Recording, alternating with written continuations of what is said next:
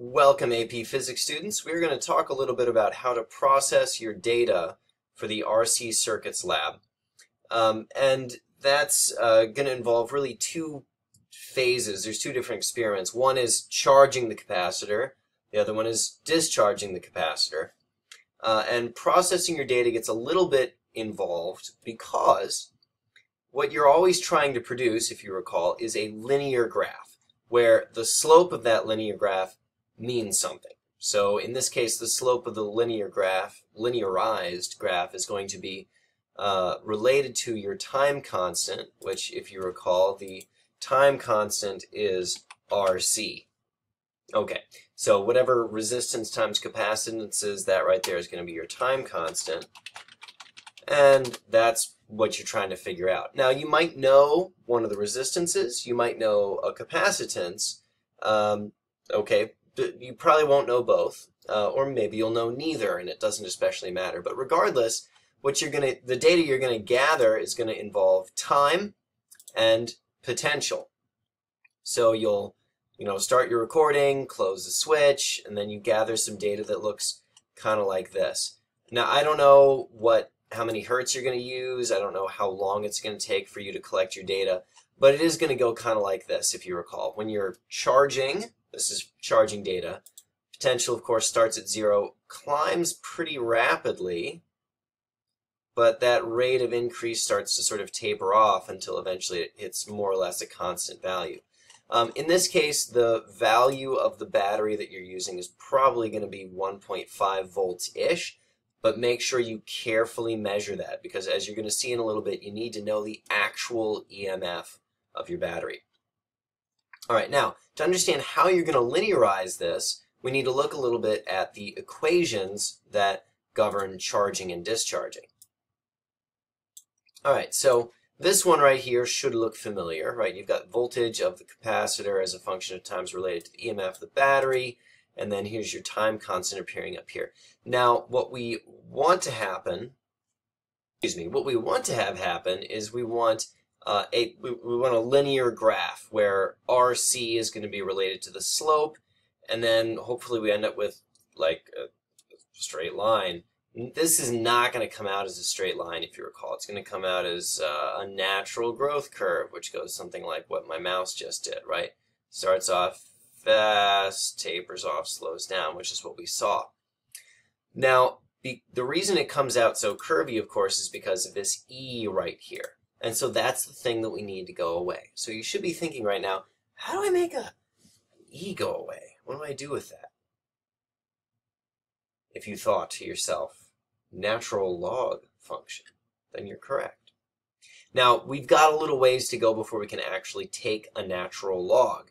And this is some algebra that I would expect you to do in the theory section of your lab. Okay, so don't like just do this and not understand it, or just cut to the final result that you're going to see in a minute and not worry about where it comes from. You need to actually understand where it comes from because I'm going to want to see it in the theory section of the lab, and because the AP is going to expect to see it if they give you a lab-based question or RC circuits. All right, so in order to get it to a point where I can actually take a natural log of both sides, I need to have one side just be e to the something. Okay, so here goes. I divided both sides by the EMF.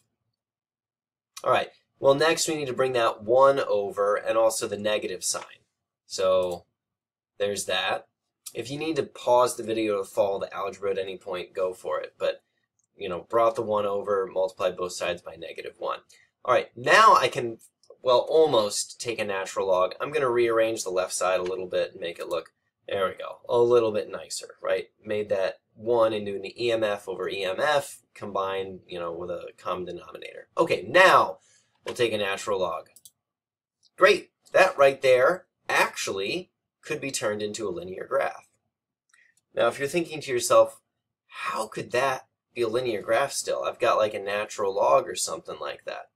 Remember, the trick with linearizing a graph was that you needed to make, uh, say, one side be, I don't know, for example, like if you were looking at uh, a falling object, position versus time, you'd make one axis be time squared because the position varies by the square of the time. So in this case, I'm going to have one of my axes, my x-axis, just be time. Now, what is my other axis going to be? Think for a moment to yourself. If you said the whole left side of that equation, you would be correct. Your y-axis would be natural log of all this junk right here. The x-axis is just time. And that would make the slope everything left over here that's not time. So that the negative 1 over RC. All right, now this right here is maybe not always the way that everyone's going to do it. There's a lot of different ways that you can actually linearize it. So here's a different way of linearizing it. Um, I've got natural log of something over something else. Using my log rules, I can turn that into natural log of this thing minus natural log of what was on the bottom. Okay, and then I'll bring this over to the other side. And that means that my y-axis would now just be this part. My x-axis will be time. My slope will still be negative 1 over rc. The only difference now is going to be that I have a y-intercept. All right, but that's nothing to you, right? You don't need to really worry about making the y-intercept be something. That's just what it's going to be. So the simpler way of getting your calculations done, uh, if you don't mind not having a y-intercept of 0, um, which is actually not an inconvenience at all, uh, is you're going to have uh, the y-axis being natural log of whatever your EMF is minus whatever the voltage happens to be at some particular moment in time. Okay, so let's get started on doing that with my made up fake data over here.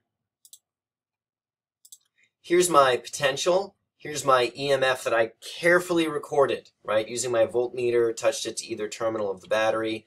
Actually, I just made it up, but whatever.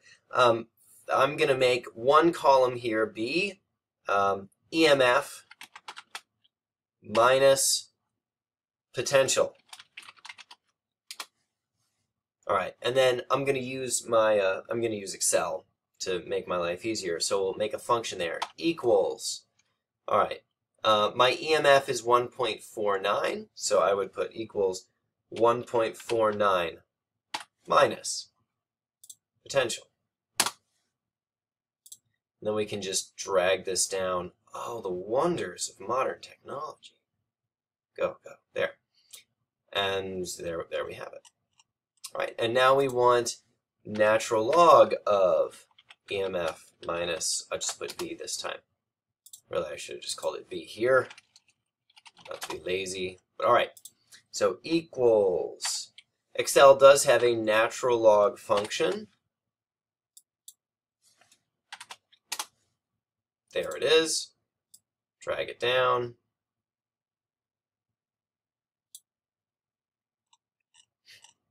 All right. And now we just need to make a graph of this versus time. Let's see, insert, uh, no, charts, there we go, that's where it is on a Mac. Scatter plot, we want a marked scatter. Oh, there we go. All right, that's pretty good looking. Uh, and now we could go through and do things like insert a trend line, and what we would discover is the trend line equals, uh, or the slope of it equals negative um, 1 over RC. Okay, great, wonderful. Uh, and the only thing that I would point out here is if you look at the end here, um, see, like this part, that's all nice and linear, but near the end where your voltmeter starts sort of not being able to tell the difference between two voltage values, you actually have to kind of trim out some of your data.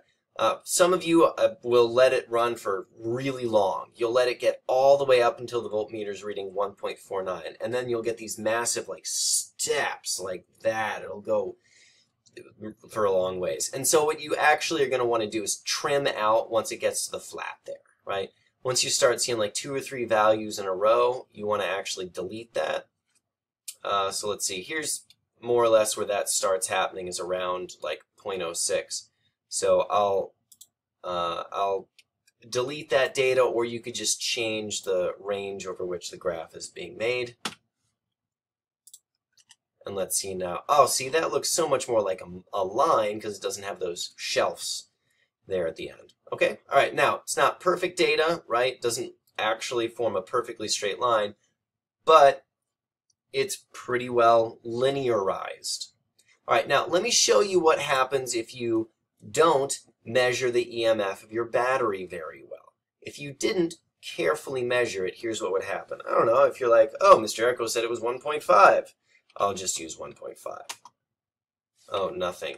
Uh, I'm sorry, something is...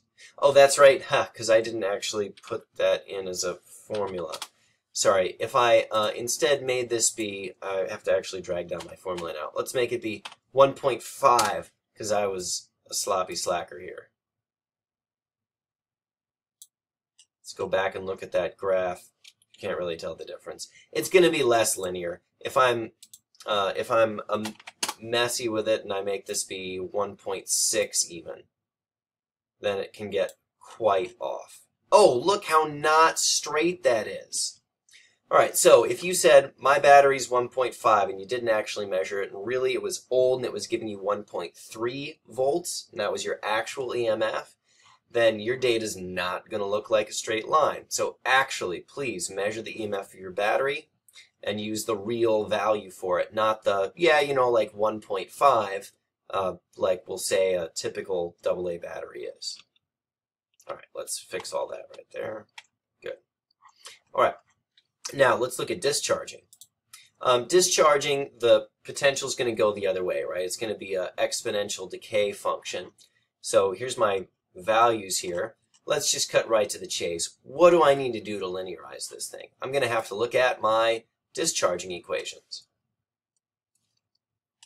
Oh, here they are on the next page. Oh, my goodness. I have to delete things. All right, now, um, in order to get this to a point where we can uh, take a natural log so that we can linearize it, we'll divide both sides by V naught. All right, there it is. Uh, now I can take a natural log of both sides. Okay, so now I've just got the negative t over rc. This is pretty much the way you want it. Um, although, again, like, if you did it like this, it'd be fine. You'd have a y-intercept of 0, uh, and that's what your y-axis would be, is potential over whatever the initial potential was, not the EMF of the battery, necessarily, right? You may not have let it charge all the way to EMF. Maybe it stopped at 1.47 like I did with my data. All right, in which case this would be 1.47 down there. Okay, fine. All that stuff should be okay. The better way to do it, I would say, is to take it to this point where like literally all you have to do is take the natural log of whatever the voltmeter was reading and then the y-intercept is going to be the natural log of whatever the initial voltage reading was. And then the slope's going to be negative 1 over RC. All right, so there you can see what the axes are going to be for um, that linearized graph. All right, let's do that real quick. I'll pause because it's the same process. Well, whatever. Uh, we have natural log of V, so equals natural log of that thing drag. Alright, now we need a graph. Oh, oh, I'm getting the wrong button. Graph. Okay. Uh, and once again, you can see it's got that like nasty stuff there at the end, which you can go ahead and delete, and you'll have a much nicer graph where, again, it's linearized. The slope is going to be negative 1 over RC. All right, I hope that was helpful uh, in terms of getting you started on processing your data. Please, if you have questions, don't hesitate to come in and see me. I would love to help you through the entire process. Uh, and remember, you're going to have to do all that math in your theory section and know how to do it because the AP will probably also ask about it too at some point when you get an RC circuits question. All right, thanks.